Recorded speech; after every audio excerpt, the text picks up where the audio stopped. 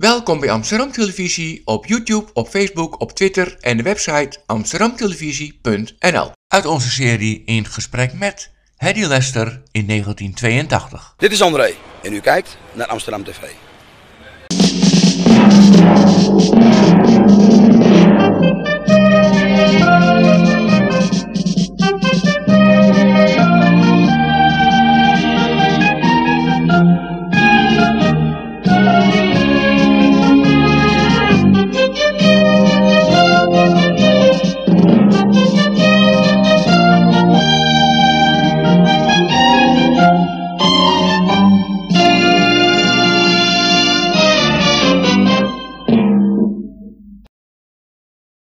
Amsterdam TV iedere dinsdagavond op Duitsland 1 in gesprek met.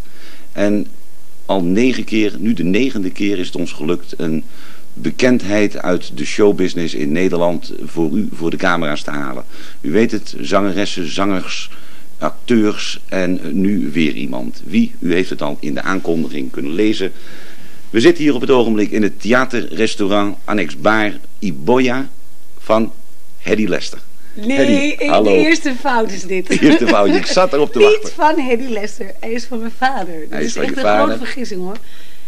Ik, ja, ik, eh, mijn vader heeft die zaak, ik niet, gelukkig niet. En Hedy Lester werkt bij de vader Ik werk bij mijn vader. in de zaak In de Iboya. zaak, En spreek ik het nu goed uit? Ja, ja. Iboya. Ja. Want dat was even Amsterdam TV-kijkers, dat was even het probleem. Ik maakte er Iboya van en toen sprong Hedy mij figuurlijk dan weliswaar in de nek en zei nee, het is Iboya. Eh Hedy, allereerst hartelijk dank dat je voor de Amsterdam TV-kijkers voor onze camera wil verschijnen. Wat is de bedoeling van dit gesprek? Veel collega's van je zijn je voorgegaan. Een tipje van een sluier oplichten, zeggen wij altijd. Een beetje bekijken wie is eigenlijk Hedy Lester. Als artieste kennen we je natuurlijk allemaal. Maar wie is het nou eigenlijk? Wat doet ze? Wat zijn de ambities? En hoe lezen? We zullen niet te diep op de privacy ingaan natuurlijk, want dat mag ook niet. Ik zei het net al, we zitten hier dan in het theaterrestaurant Iboya van je vader. Waar jij met, geloof ik, de hele familie eh, vaak present bent. Ja, ontzettend fijn. Mijn Ja? moeder werkt mee, mijn broer werkt mee en ik en mijn man af en toe.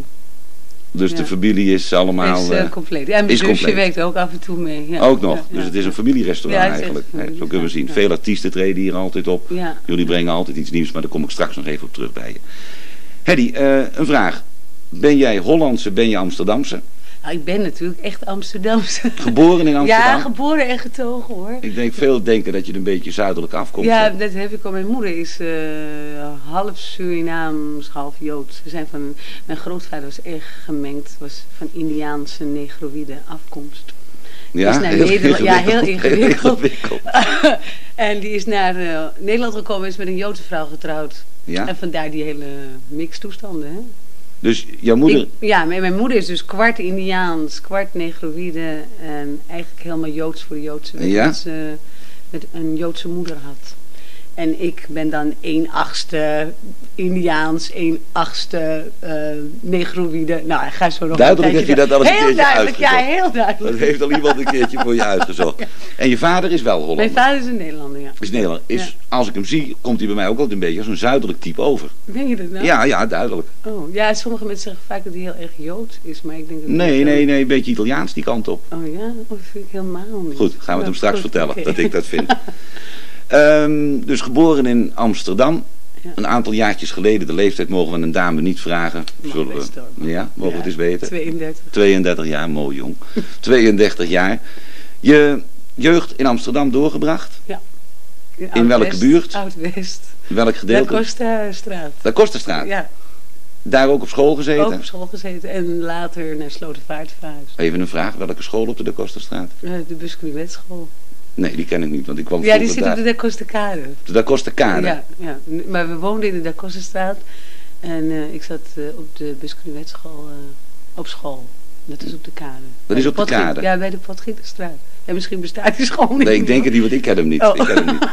Nee, ik, ik, ik vond het wel grappig, want mijn vader heeft daar vroeger, die was eh, gymnastiekleraar en die heeft daar les gegeven. Ik denk, misschien heb je Oh. bij hem nog op les gezeten. Oh, dat dat zou helemaal grappig zijn natuurlijk. Daar heb je je jeugd eh, doorgebracht. Tot hoe oud heb je in die buurt gewoond? Tot een jaar of eh, elf. Ja, ik was af en toe zijn we naar Slotervaart gegaan. Slotervaart? Want daar waren de grote woningen voor de grote gezinnen. Voor de grote gezinnen? ja. En hoe groot uh, was nou, het gezin? Ja, zo groot is het ook niet. Vier kinderen, hè. Maar Vier we hadden kinderen. een veel te klein huis daar. En zijn toen naar Slotervaart gegaan. Prettig wonen? Toen wel, nu niet meer. Nu niet meer. Wordt iets minder? Ja, het wordt minder hoor. Dan moet je maar eens gaan verhuizen. Ja. Nou ja, ik, nee, wacht even. Jij woont er niet meer. Ik woon er niet meer. Nee, ik woon niet. Al jaren Interessant. hè? meer. Zij woont er niet meer, want zij woont met, haar, eh, wonen met man samen, Erwin Kam. Die woont niet meer bij paps en mams thuis hoor, Hedy, dat is zeker. Hedy, aspiraties in de showbusiness, om het zo maar te zeggen. Ja. Wanneer ontdekte die bij jezelf of ontdekte men die in jou? Ah, ik, nou, ik was natuurlijk ook piepjong en eh, een jaar of eh, veertien denk ik, dat ik tussen de schuifdeuren begon zoals iedereen. ik. bruiloften en ja, partijen. bruiloften, verjaardagen en zo. Met mijn zusje.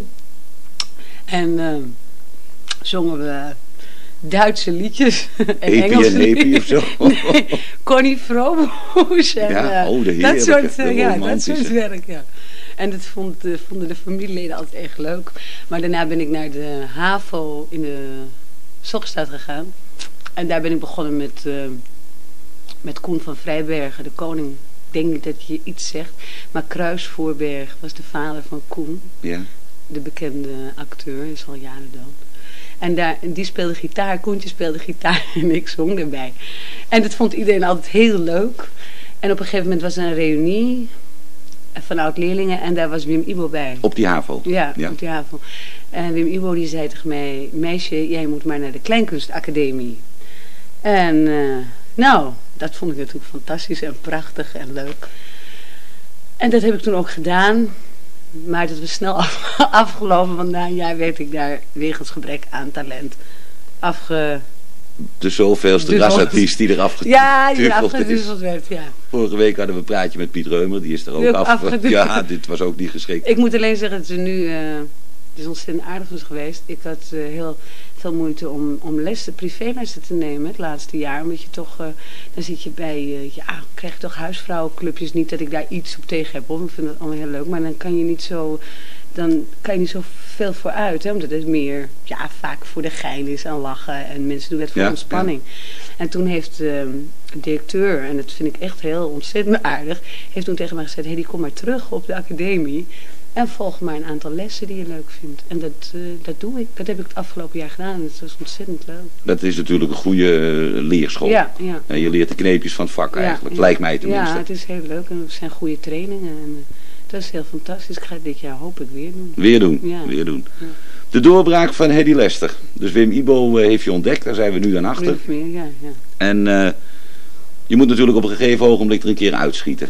En wat ik me dan herinner, en eh, ik moet het zeggen tegen je, ik weet, Tuurlijk. hè, de mannenmolen. De mannenmolen. De mannenmolen. Ja, ja, ja, dat is zo. En dat vind ik eh, nog steeds ontzettend leuk hoor. Maar je, je wordt, je blijft, het blijft je achtervolgen je hele leven lang. Ik bedoel, ik heb dat toen gedaan en het was één liedje en dan moest ik... eh, Zongfestival ja, was dat. hè? was ja, het Songfestival. Wanneer?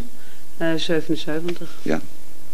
En het is enig allemaal. En het was een soort, eh, ja, het was een soort Johan Cruijff, zeg, die eh, door de stad heen liep.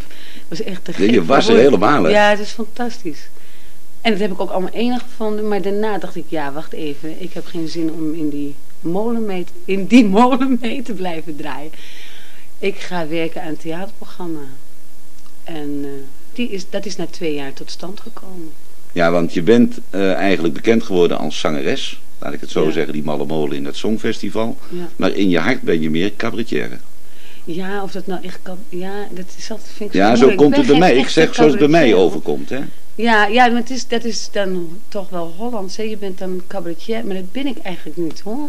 Ik, ik voel me niet zo'n cabaretier. Ja, ik vind het leuk om typetjes te, neer te zetten. En, eh, maar of dat nou echt met cabaret te maken heeft. Als ik over je show in het land spreek, Ja, dan heb je een eh liedjes brengen. ja, Je hebt een conferentie. ja, ja. In je shows die geweest zijn waren sketches. Daar kom ik straks ook nog even op terug bij je. Dus dan moet ik je toch onder het rijtje cabaretières gaan plaatsen. Mag jij doen. Ik, Nee, maar waarom voel je het zelf ja, niet ik zo? ben niet zo. Ja, en weet je, ik vind, ik denk aan cabaretiers, denk ik eh, toch een heel ander soort. Ik werk vrij showy met mijn broer. En Ja. dat is, ja, dat vind ik dan toch geen cabaret. Vrij showy, wat bedoel je Ja, toch met eh, vrij veel glitters en, Ja. en eh, veel zangwerk. Hè? Het, wat ik dan afgelopen seizoen heb gedaan. Wat je gedaan hebt eh, in je show. Ja. Even ter verduidelijking van de Amsterdam TV-kijker. Haar broer, voor u die het nog niet zou weten, is Frank Afolter. En Frank Afolter is de vaste pianist, de vaste begeleider van Heddy. Niet alleen op de piano, maar maken ook samen heerlijke liedjes, zingen samen. En treden ook een show samen op. Zo heb ik het Dat goed gezegd, geloof ik. Hè? Ja. De show waar je in mei mee gestopt bent, waar je mee door het land ging, Ja, die heette, als niemand het doet. ik vind het een mooie, mooie titel. Titel. Hoe kom je daaraan? Dat was een liedje in mijn programma, want iedereen riep, dan, riep meteen natuurlijk van... Oh, als, Hedy, als niemand het doet, dan doet Hedy Lester het wel. Ja, ja. Maar dat is onzin hoor. Het, is, het was een lied in mijn programma. Een liedje gewoon eruit Ja, en daar heb je de, de, daar, daar de show naar genoemd. ja.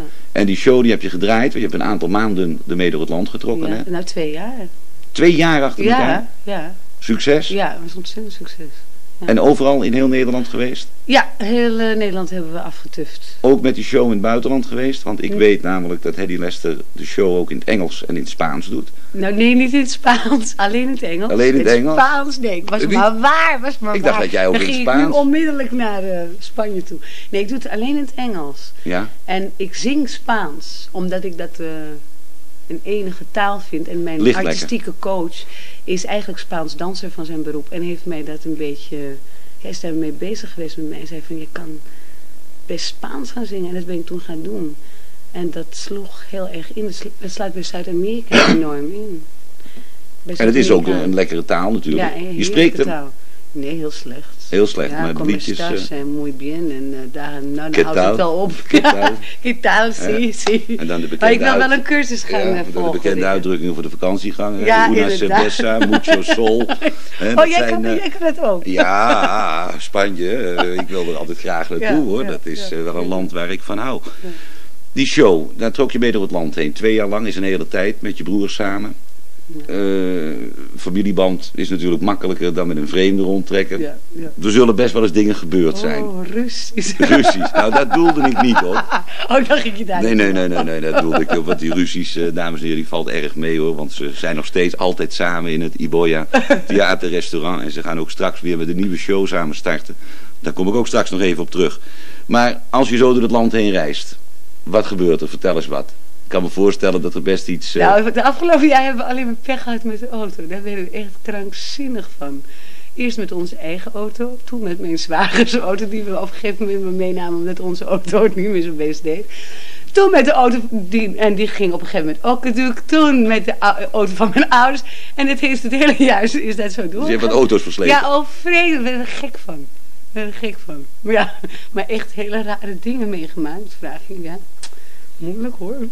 Ah, je hoort wel eens precies- verhalen van artiesten die in de orkestbak vallen. Of, of waar Ja, door de dat vloer van de kleedkamer zakken. Ben ik in mijn schoenen vergeten, nog niet zo lang geleden. En dat toen? was heel vervelend. En toen? En toen, eh, dat was een gedeelte uit mijn programma. En Hans van der Toch is een hele goede vriend van mij. En die zou het presenteren. En die eh, zei, ik ga gewoon vragen of eh, iemand zilveren schoenen heeft in de zaal. Oh, gewoon... ja, hij Iemand schoenen. heeft wel een paar zilveren schoenen. Dus hij, heeft gevra- hij vroeg dat en iedereen eh, ging vreselijk lachen, want niemand geloofde dat natuurlijk. Dus toen moest ik op mijn blote voet eh, het toneel op en dat vond ik wel heel vervelend hoor. Ik, eh, ik heb wel eens eh, meer iets grappigs van jou gezien, moet ik je eerlijk Oh zeggen. ja? Ja. Ehm, dat was een keertje een aantal jaren geleden in het Sonesta Hotel. Daar zou je een eh, stuk uit je show komen brengen. En ja, dames en heren, dan Hedy Lester. Het is een, eh, een ongekunsteld iemand, dat mag u van mij aannemen. Die altijd lachend door de wereld gaat en ook wel eens een keer strak kan kijken. En ook bij bepaalde mensen wel eens even een, een, een terughoudendheid oproept. Maar dat is gewoon het typetje. Maar om u het nou even te beschrijven wat er gebeurde. Ze moesten in die show in het Sonesto Hotel, een hele chique gelegenheid. Ik denk dat ze het zelf niet meer weten. Nee, ik weet niet waar je het. En dan verwacht je op een gegeven ogenblik dat een artiest dan met alle glamour en kleding aan binnenkomt. En dan de opwachting maakt zoals het heet. Maar nee, tot onze stomme verbazing komt daar een heel oud fietsje aanrijden. Daarop Oh, avond. zit Hedy Lester met een doekje om de hoofd en een ja, oud regenjasje aan. Achter op de fiets een tasje met de kleren in. En we moesten eerst twee keer kijken, want het regende ook nog. Ja, dat klopt. ja. En toen kwam een klein meisje kwam er daar de trap in de toren van het Funesta opgestommeld. En dat bleek dan Hedy Lester te zijn. Weet je nog herinneren? Ja, Dat maakte ja op ik iedereen fiets nog steeds vreselijk- op dat oude barrel hoor. Dat maakt op iedereen Ja. vreselijk indruk, omdat ja, je verwacht Hedy Lester moet komen. Dus iedereen die staat aan de deur, of iedereen, niet overdrijven natuurlijk, Nee, maar nee. men staat aan de deur Deur, denk- Lester op te wachten. En daar komt dan ja, een meisje binnen met een doekje om het hoofd, met een tasje. maar dat heeft ongeveer 10 minuten geduurd en toen was ze omgekleed en toen ging ze de perfecte show in de zaal brengen. Want dat doe je razendsnel inderdaad. Om uit je gewone doen. Ja, ik, heb er niet, ik hoef er nog niet zoveel aan te doen. Je zei net dat ik nog goed uitzag, of tenminste dat ik nog jong ben. nog goed Nog uitzag. niet. Dat je er goed uitziet. Ik Ja, nee, ik zeg toch al, ik ben nu nog jong. Over tien jaar kan het niet meer. Dan kom ik met een auto voorrijden hoor. Helemaal in de... Ja? Ja, natuurlijk. Ja, want nu ook hoor. Geen enkel iets gedaan ervoor. Ze zegt, kom op de bank zitten en we gaan even een gezellig het babbeltje voor Amsterdam TV maken. Dus een, een, een, een echt iets, iets schijnigs uit je loopbaan eh, kan je ons niet aanbieden? Nou nee, ik heb wel iets fantastisch meegemaakt een paar maanden geleden. We worden eh, opgebeld door een vriend van ons die wist dan dat wij een, een Engelse show deden. En eh, dat was voor een heel groot cons- eh, Amerikaans concern. En eh, die mensen, ja, die eerst van, ja, wie zijn dat dan wel? Dat broertje en dat zusje, wat Ja, moet dat ja. dan wel worden? Nou, we hebben opgetreden in Amsterdam. En eh, die Amerikanen die waren nou helemaal kapot ervan. Die vonden het zo fantastisch wat we deden. En drie dagen later kregen we telefoon. Want die Amerikanen die spraken alleen nog maar over ons. Amsterdam was Hedy Lester en haar broer. En eh, toen vroeg die man of wij nog zo'n show konden draaien. Maar ja, dat kan natuurlijk geen hond. Hoe moet je dat nou doen? Je hebt niet genoeg repertoire. Ik ben tenslotte toch een Nederlandse. En eh, mijn grootste repertoire is toch in het Nederlands. Nederlands liedjes, Dan ja. hadden we nog heel wat oude nummers, Frankrijk, maar die hadden we ook al jaren niet meer gedaan. Maar vrijdagsnachts werden we opgebeld. We moesten zaterdagsavond moesten we nog een show geven in het Engels. En, en we hadden geen zin om echt te gaan repeteren daarvoor. Dus hebben we het via de telefoon hebben we gerepeteerd. Dus Frank speelde steeds van, eh, het ken je dit nog? En dan zong ik door de telefoon, ja dat weet ik nog wel. Nou zo hebben we die show in elkaar gezet. Die mensen waren zo laaiend dat we een maand later in Salzburg zaten in de Festspielhaus. Voor diezelfde groep mensen. Nee, weer voor een andere Ja, groep maar die dat dan weer doorgespeeld ja, ja, hadden. Ja, en misschien, er zit eh, een hele hoop eh, dingen aan vast, denk ik. Misschien dat ze naar Hawaii gaan volgend jaar. Zo? Dus ja, ja. Het is Maar jullie reizen, jullie reizen veel. Ja, we reizen vrij veel, ja. Want jij zit toch vaak in het buitenland ook? Ja, Zwitserland hebben we ook pas gedaan, ja. Je hebt, onlangs hebben jullie een prijs gewonnen. Ja, verleden jaar. De Was het al zo lang geleden weer? Ja, dat is ook Ja. alweer een jaar geleden. Het gaat hard. Ja? Het gaat Ja? hard. De Voordat je weet. Ja, zijn we toch oud. Oh. Eh Palmal ehm, exportprijs. Wat hield dat in? Want het heeft in de krant gestaan. Ik heb het in privé gelezen. Ja, een aantal bladen, zeg maar. Het Ja, het eh, bedrag was 10.000 gulden. 10.000 gulden, stond Ja. er ook bij. Ja, en eh was voor Frank en mij min of meer voor het programma. En om jong talent aan te moedigen. Kijk, zei ik heel voorzichtig. kijk. Ja, Je kwam met je doekje om binnen. Nee, ik kwam heel chic binnen. chic, chic de lala, even het entree maken. Ja, het was, eh, ja, het was meer, ja, het was min of meer voor jong talent. En ze vonden, vinden ons eh, een internationale allure hebben. Ja, Is is, ook heel zo. leuk, is heel leuk gezegd. Nee, maar het is ook zo. Ik bedoel, je zingt Nederlandstalig, Engelstalig. Je maakt een eh, conferentie in het Engels erbij. En dat is natuurlijk eh, niet veel artiesten gegeven die dat kunnen doen. Nee, nee. Wat eh, zijn de hobby's van Hedy? Heeft Hedy hobby's buiten het café, Slapen. restaurant? Slapen. Lekker lang? Heel lang, ja, ik kan uren slapen. Als een poes ja, opgerold. ik heb er weinig tijd voor op het ogenblik, maar slapen vind ik heerlijk. Maar ik heb geen echte hobby's. Geen echte zeggen. hobby's? Nee. Op nee. je fietsje door Amsterdam heen rijden? Ja, vind ik prima. Dat vind je wel lekker. Een beetje een kroegje in. Je hebt weinig tijd op het ogenblik, ja, zeg je? ontzettend weinig tijd. Hoe dat komt? Ja, ik weet het natuurlijk. ja. Je bent aan het repeteren. Maar misschien wil je het zelf even vertellen. Ja, er komt een nieuw programma.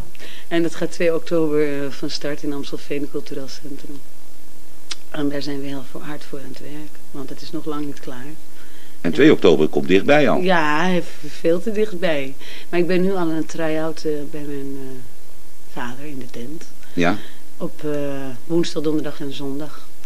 Op woensdag, donderdag en zondag hier in de Ja. Iboya. Om een uur of tien. Dan doe je gedeeltes Doe- uit ja, de show. doe- Ja, try-out. Ja. Oh, dat is helemaal niet eens zo gek natuurlijk. En dan nee, dat is prima. Dat, dat dit is zo keurig. zalig van die zaak. Je kan alles uitproberen, hè? En je zal daar ook eh, het woord fans maar even gebruiken. Fans hebben die, die regelmatig. Ja, er zijn eh, ontzettend veel mensen hier die eh, speciaal komen voor ons. Jullie zijn met z'n tweeën iedere avond, dus behalve maandag en dinsdag dat jullie gesloten zijn, maar Ja. iedere avond in de zaak. Nou, ik ben er meer dan Frank. Frank is vrijdag en zaterdags eh, meestal eh Fuji. Die eh, werkt daar niet. Want Die dat werkt hier niet. dan bands zitten, hè. Zit vaak. En dan zing jij toch. En, nou, zing ik wel eens met orkest mee, maar heel weinig. Hoor. Het ligt aan of dat klikt op Ja, hetzelfde ja, ogenblik. Ja, ja. Je nieuwe show die we gaan krijgen, 2 oktober, je zei het net al, in Amstelveen, het cultureel centrum, bij de zeer sympathieke theaterdirecteur. Hoe heette die ook alweer? Wim Barry. Wim Barry. Mocht eh, meneer Barry kijken, er werd toen straks voor de opname even over u gesproken. Met een bepaalde glitter in de ogen van Hedy, want u schijnt eh, Nee, een man- speciaal ja. plekje bij Hedy te hebben. Ja, nee, die man doet het heel geweldig. Ja, ja, goed, dat Ja, bedoel ik het er is ook mee. een van de beste theaterdirecteuren die we hebben, vind ik. Dat bedoelde ik er Ja, ook mee hoor, ja, helemaal niet. Dus 2 oktober Amsterdam TV-kijkers, de nieuwe show van eh Hedy Lester met haar broer Frank Affolter in het eh, cultureel centrum in Amstelveen. Hedy, is er nog iets speciaals dat jij kwijt zou willen aan de Amsterdam TV-kijkers? Je weet, dit programma gelukkig heeft een grote kijkdichtheid gekregen. Ja.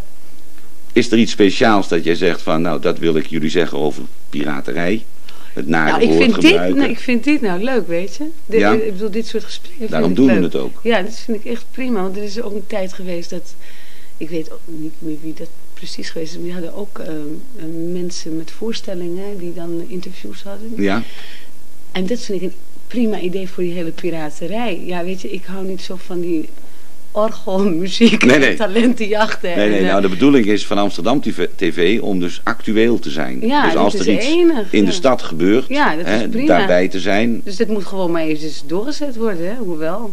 Nou, men Zie- heeft mij ook gevraagd om deze Ja. interviews te doen. En ik, het is gewoon een hobby van mij, dat weet jij.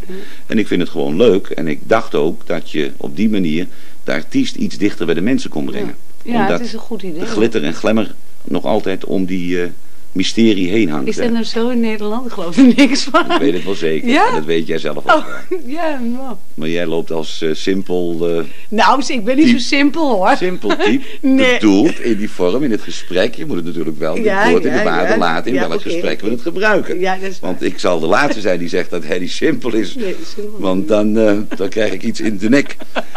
Goed, Amsterdam TV-kijkers. Ik hoop dat wij eh, u een tipje van de sluier van Hedy Lester hebben kunnen oplichten. U weet het dus 2 oktober in Amstelveen in het cultureel centrum. Ik zou zeggen, gaat u eens kijken. Of anders gaat u eens even naar Iboya Theaterrestaurant. En dan mag jij de straat zeggen, want Dat ik ben, jij weer, weer vergeten. ik ben hem weer vergeten. Korte Leidse Dwarsstraat 29. En dat is een zijstraat van het Leidseplein. Leidseplein, ja. Hedy, namens Amsterdam TV heel hartelijk dank. En Amsterdam TV-kijkers, dit was Jos Richards in gesprek met Hedy Lester. Hedy, dankjewel. Oké. Gezellig, hè, deden we dat.